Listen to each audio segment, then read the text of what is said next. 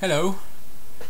So today I thought I'd just show you how to easily create your own bump map for your materials and textures using GIMP and a normal map plugin for GIMP just in case you don't know, you know. Surely there exists software that creates normal maps for you, but it's fun to know how to do it yourself. So first, of course you will need to have GIMP and you will need uh, Unreal Engine 4. You could also do this in Blender, surely, but I'm not gonna do that now. And then what you will search for is GIMP normal map plugin. And then the first one and in here you simply go pick the download you need. So I took the Windows 64-bit and then you will get a zip file where you get a few let's see if I can find them.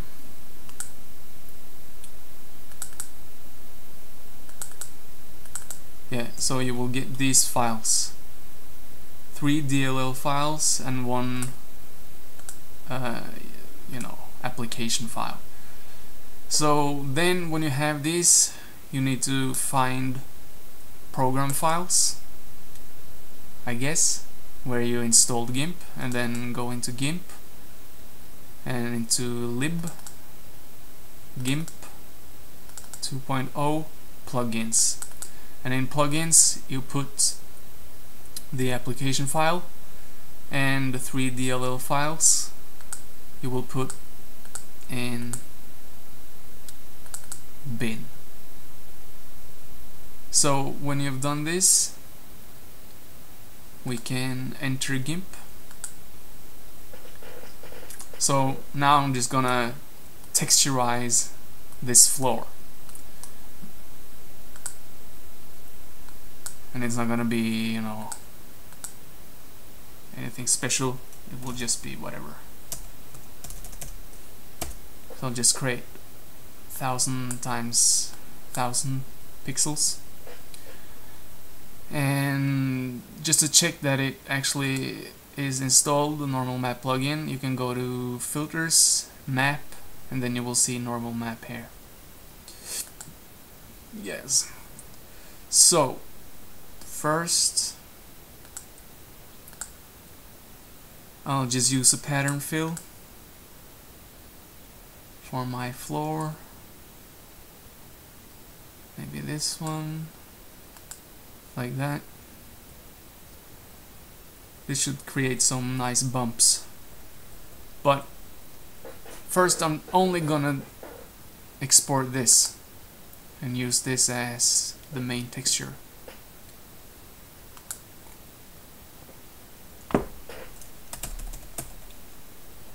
Floor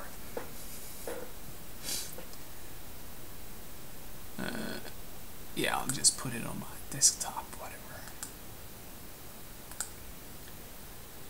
And then in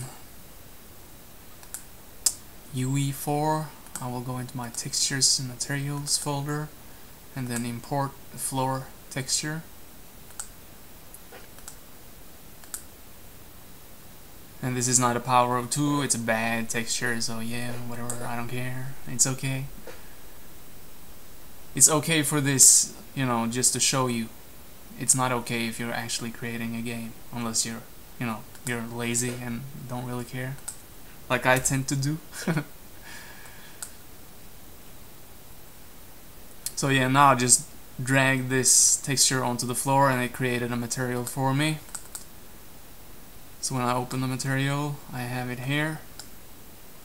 And this is where we will put the normal map. So go back to GIMP. And then I'll duplicate this layer. Remove the one behind just because and then select the one I want a normal map. Then go up to filters map normal map. And you should probably use 3D view because it's easier to you know get an overview of the situation that way. So let's see. You see the bumps here? They're not really that strong so what you can do is change the sample like this for example.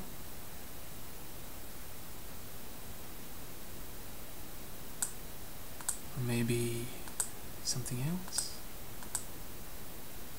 yeah, so you, you can just play around with the settings you know. I'm gonna use this one for now. That's okay. So then you get this nice normal map. So I'll export this. That as I mean. I'll export that as floor normal map PNG like that.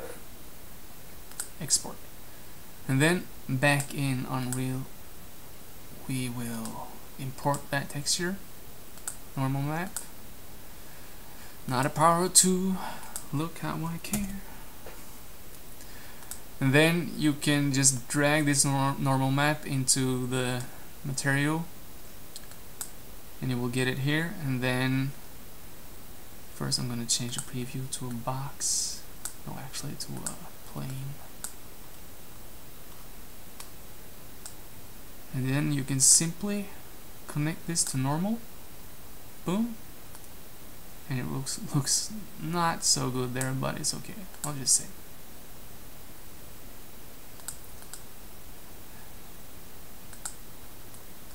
And now it is a bump map. Yay! Whoops. That was a short life you know these were really tiny so if the bumps were bigger or the details were bigger you would get a more better feel for it.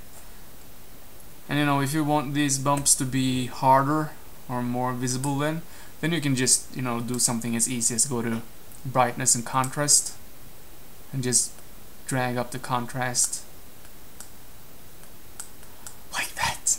Oh not that much. But you know a little bit more and then you can simply export as the same. And overwrite replace.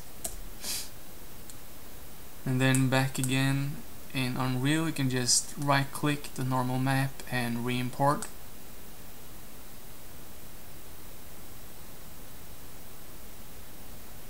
And now you can see the bumps.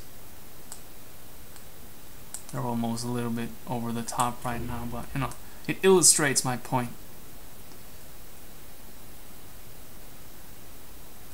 So, yeah, that's a really simple way to create your own normal maps. So, enjoy your life, like the video if you like it, and subscribe if you want more tutorials, and have a great day.